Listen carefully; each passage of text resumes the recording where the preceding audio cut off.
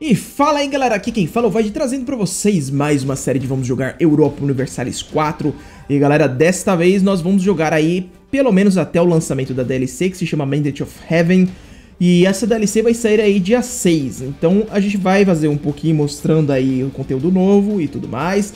E se vocês tiverem interesse a gente vai continuando aí vendo alguns objetivos pra completar durante a série. Até porque né, teria que esperar pra sair pra gente ver quais seriam os, os achievements possíveis e tudo mais.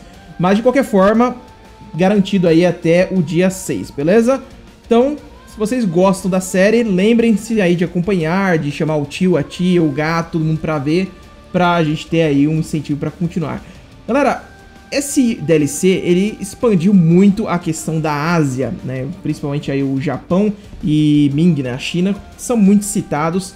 Mas uma coisa que eu gostaria de mostrar pra vocês, que além do mapa japonês ter sido expandido, agora existem mais clãs, mais regiões e tudo mais, tem um, um, certo detalhe aí que é muito legal, né? Se vocês verem aqui as ideias, né, as tradições, elas vão mudando bastante, mas assim, de clã pra clã já muda tudo.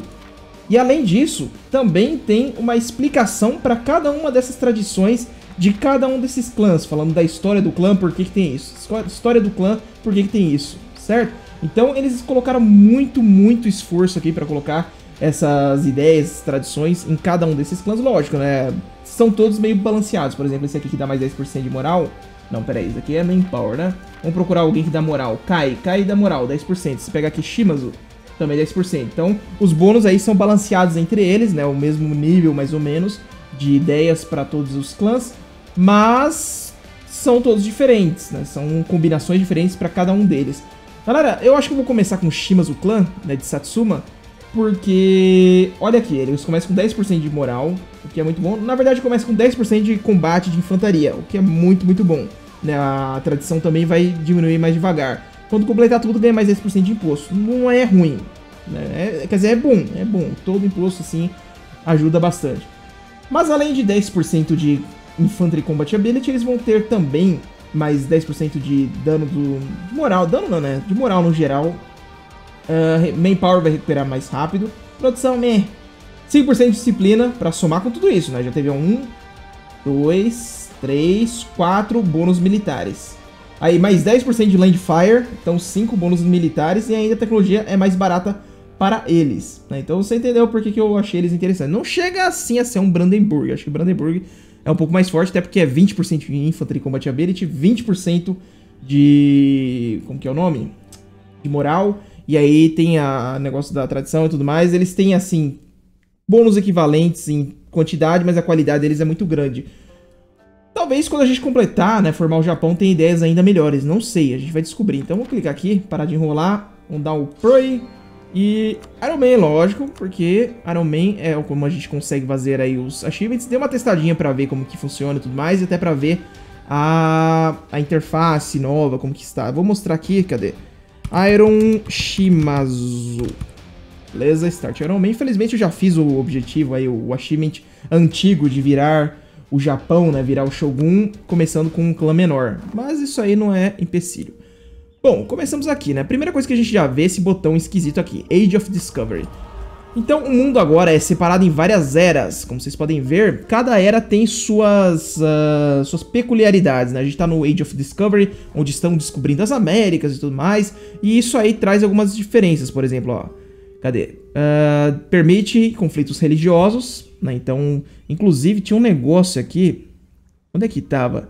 Eu não lembro onde que tá, mas tava dizendo que, por exemplo, a religião influenciava muito na diplomacia, e isso vai meio que mudando conforme o tempo vai passando, né? Vai ter a era da reforma, a era do absolutismo, a era das revoluções, né? Então, ó, develop, develop a nation, né, pra gente desenvolver a nação, controlar centros de trade, um monte de coisa, né, com esses objetivos.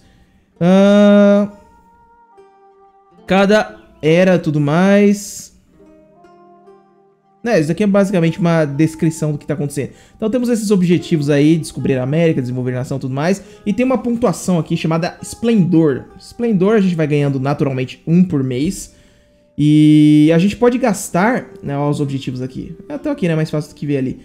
A gente pode gastar esse esplendor, por exemplo, Feudal de Jour lá, ó, menos 5 de Unrest. A gente pode pegar vários bônus especiais, por exemplo, aqui, ó. Mais um combate bônus no terreno da capital. Uh, mais um de imposto, produção e manpower em todas as colônias completas. Isso aqui é muito bom para um colonizador, por exemplo. Uh, pode ter mais cavalaria, cavalaria do que infantaria, talvez para uma horda, isso aqui seja muito importante, né? Improved Vortexes. Vortex não custa nada, menos 100% de custo. Muito legal também, né? fazer aí, ó, eu acho que é um casus belli, né, para transferir um vassalo de um para outro durante uma guerra. Ah, você declara guerra na, na Dinamarca e pede para Suécia ficar abaixo de você.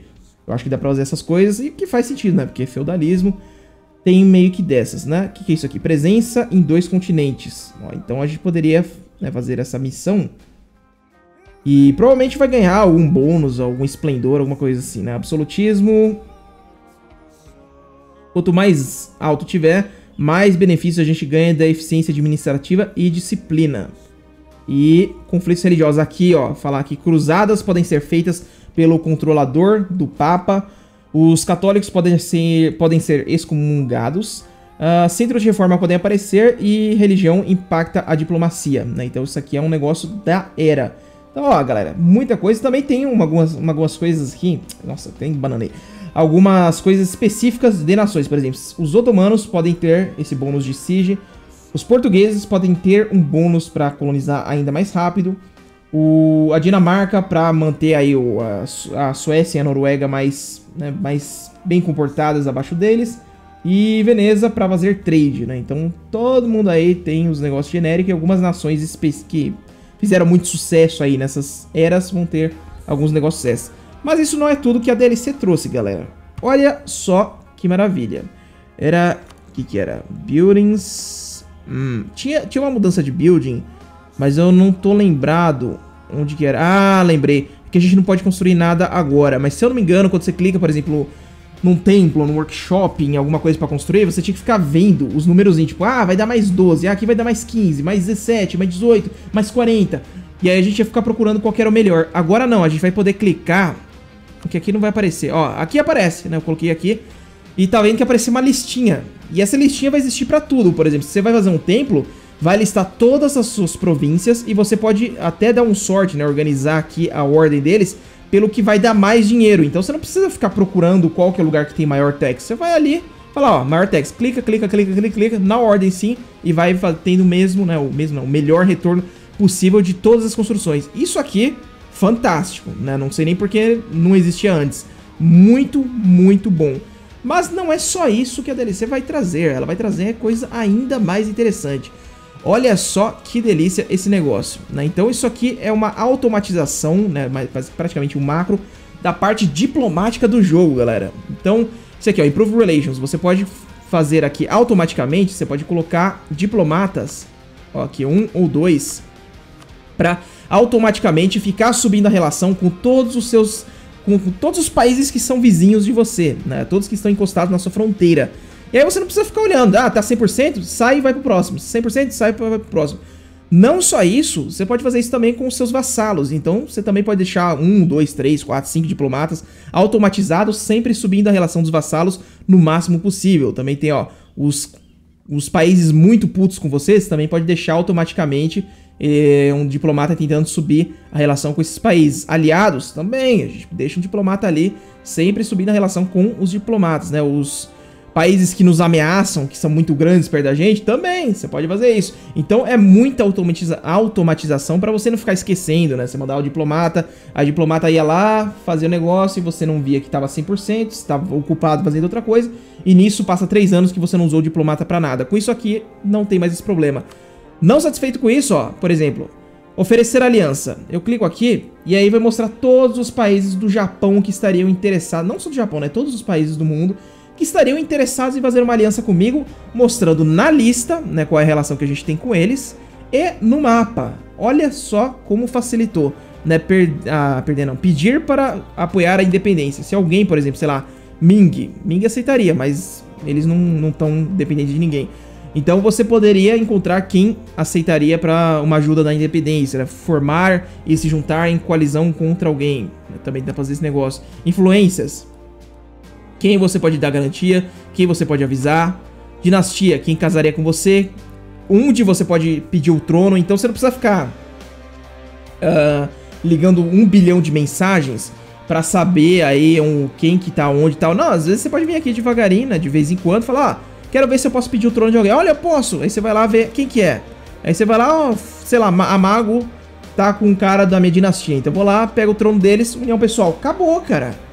É muito simples agora, né?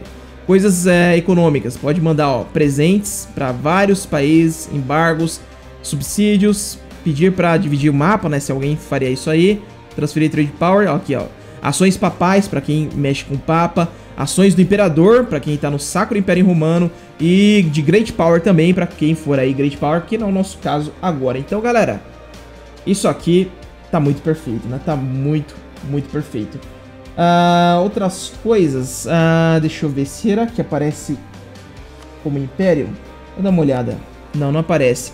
Mas, aqui na Ásia, Ming, por exemplo, ele agora tá agindo como se fosse um Sacro Império Romano, né? Eles têm aí, ó, Tributary States. Aí o Taia, Champa, Daiviet, Khmer, Coreia, não sei o que, não sei o que, né? O que, que isso significa? Significa que eles são vassalos leves, basicamente, né? Como se fossem os, uh, os entre aspas, vassalos do Sacro Império Romano. Então, se eu atacar, por exemplo, a Coreia, a Ming vai defender, porque é um estado tributário de Ming. Se eu atacar, sei lá, Dai Viet, mesma coisa. Então eles têm que defender. Outra coisa, o Ming pode pedir para qualquer país tributário mandar alguma coisa para ele, sei lá, dinheiro, pedir manpower, pedir dinheiro, é, dinheiro não, pedir monarch points, né, administração, essas coisas assim. Você pode fazer um monte tributário e começar a meio que sugar eles para se manter. Muito legal essa mecânica. Infelizmente eu não vou poder mexer com ela agora. Não sei se o Japão pode fazer isso, talvez se virar Shogun. E falando em Shogun, eu não sei se vocês lembram, mas existia uma nação chamada Japão dentro do Japão, né, que ficava ali em Kyoto. Agora não tem. Agora tem o clã Ashikaga. E nesse período também, como vocês devem ter visto aí nas séries de Shogun 2 Total War, Ashikaga, Ashikaga mostra no Shogun 2? Eu não lembro se mostra. Mas eles eram aí o, o Shogun da, dessa época, né? O Sengoku Jidai, como eles falam, a era do país em guerra. Então, esse aqui é o clã que controla Kyoto. Se, porventura, né, por algum motivo, eu conseguir ficar grande o suficiente e desafiar o clã Ashikaga e tomar Kyoto, na partir do momento que eu tomo Kyoto, eu já viro Shogun. Então, todo o resto vira meu vassalo. E aí eu paro, né, de poder declarar guerra livremente, até porque eu sou Shogun, eu tenho que manter a ordem, não tenho que causar o caos, mas eu posso começar a anexar eles e mandar eles cometerem sepulcro. Né? Por exemplo, existe um casus belli gratuito contra todos os outros clãs do Japão por causa dessa era aí de guerra civil. Então eu posso declarar guerra em qualquer um. Só que aí o imperador pode falar, né? Não, o imperador não, o Shogun pode falar. Ah, não gostei do que você tá fazendo, se mata aí. Aí a gente se mata e ele ganha aí vários Monarch Points por conta disso. Né? Então se eu ficar usando esse casus belli, pode dar ruim, Pode, pode. Uh, temos aqui uns naviozinhos. Gala e tal.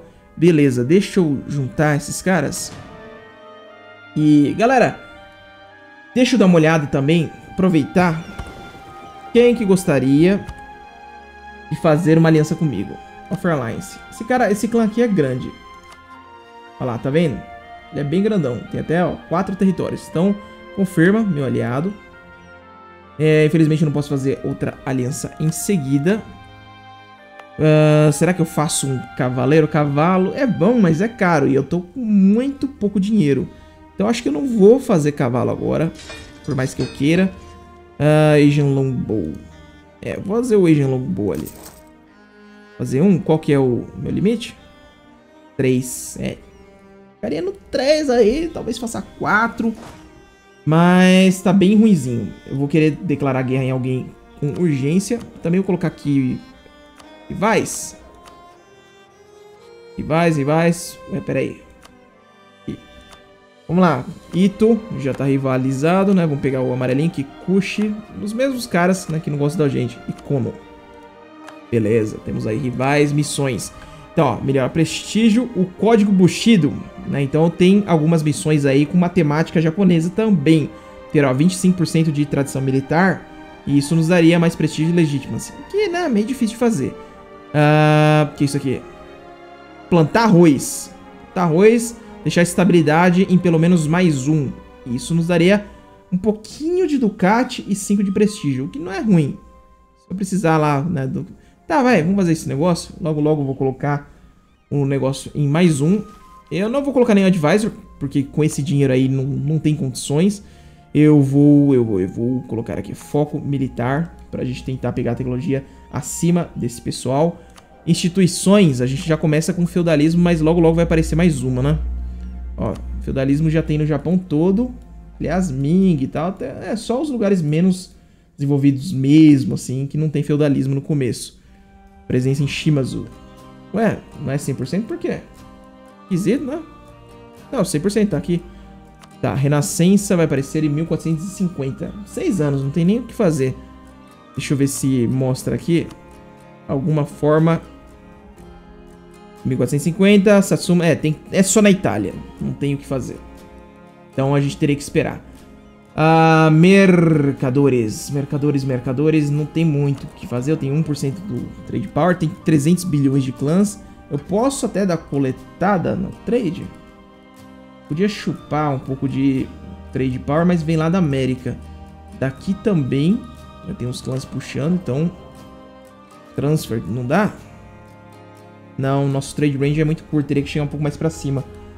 Aqui, aqui daria pra trazer. Daria, não, não é muito bom não. Vamos tentar trazer, né, de volta. Transfer Trade Power. Mandar um cara aí, não tava sem nada mesmo. E eu vou tentar coletar aqui direto. Apesar de não valer a pena normalmente, a gente vai ficar aqui coletando do trade, né? Melhor que nada, 0,48 e tal. Certo, vamos começar a passar o tempo e vamos começar a se preparar então para atacar nossos vizinhos, nossos amiguinhos aí. Faltou eu dar uma olhada em alguma coisa? Não, deixa eu ver, trade e tal, states. Uma coisa, se eu lembrar, a gente continua falando disso daqui a pouco. Tá? Como é que eu tô de velocidade? 4. Opa, Rosokal aceitou. Ah, a Chicago mandou embora todos os Ronin. Então, menos 500% de Liberty Desire, ninguém vai querer se levantar contra eles. É uma boa jogada. Deixa eu aproveitar aqui nossa diplomacia.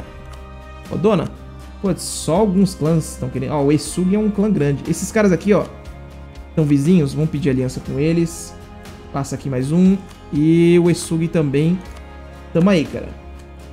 Fizemos algumas alianças aí com alguns clãs. Alguém mais tem interesse? Eu acho que eu talvez não devesse ter passado tanto tempo. Mas tudo bem. A gente souber aliança não. Daqui a pouco eles vão pedir aí pra casar e tal. Inclusive a gente agora tem mais visão de certos lugares. Deixa eu ver. E eu podia deixar... Cadê? Não, não disable nada. Vamos colocar missão.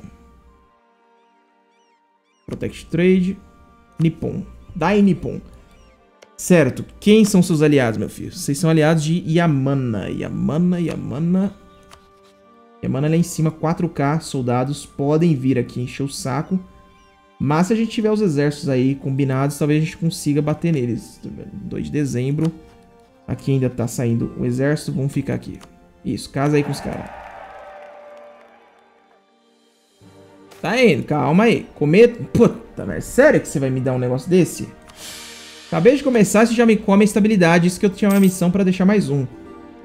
Ai, ai. Tá, junta aí. Mais o cara quer casar, beleza. Vamos subir. Né? Vamos além do limite. Asian Longbow. 4K. Como é que tá aqui? Zero. Ó, tá querendo casar? Casa aí, então. 335, uma rainha. Boa. Vamos, vamos, vamos, vamos. Ó, Alliance. Quem que tá querendo? Yamana, justamente. O cara lá em cima tá a fim de fazer aliança. Aceitou. Beleza. Esse cara aqui é aliado de quem? Esse é aliado de Rosekawa. Rosekawa e Amana estão vizinhos. 4K, 5K. Eles meio que podem ficar se degladiando se eu fizer isso aqui direito. Deixa eu ver. Reconquest Take Ryuga. Poderia fazer. Rosekawa viria e eu não consigo chamar os amigos, né? 4K versus 5. É, aí você me ferra um pouco. Teria que fazer um exército capaz de bater nos dois se for fazer uma guerra contra eles. E você? Ó, Shone viria. Só que Shiba... Yamana não viria, né? Shiba... Shiba viria. Eles têm 4K. Tekayama 1K. Tá, esses caras aqui estão de boa. Aqueles lá me preocupam, mas eles estão longe. Talvez eles não consigam ver. E nisso aqui a gente dá um pau neles e GG. Né? Acaba a guerra rapidinho. Sengoku? Hum. Chamar Shuni. Falar, ó. Guerra é nossa. Vamos bater nesse cara? Vamos terminar esse negócio aqui, esse soldado. E a gente vai pra, né, pro pau ali em cima. Tá aí. 20. Hum, a gente pode fazer isso aqui no episódio que vem. Esse primeiro episódio, então, fica bem introdutório. A aliança vai quebrar. Rose, Rosekawa. Hum, tem que puxar talvez o saco dele. Aliança, influência... Peraí. Relations, improve relation. Vamos tentar subir aqui. Com esses caras aqui, ó. E a Mana também. Talvez... Acho que é porque eles são rivais. Talvez eles não tenham gostado, né? Da gente ter coisado um com o outro assim, né? Ficado aliado um do outro. Mas, quer dizer, dos dois. E aí fala, ah, você é aliado do meu rival. Aí eu falo, foda-se. Mas galera, vamos continuar então essa zoeira no episódio que vem amanhã. Se você gostou desse vídeo e gostaria de ajudar o crescimento do canal, compartilhe com seus amigos. Links na descrição, por enquanto é só. Valeu e falou!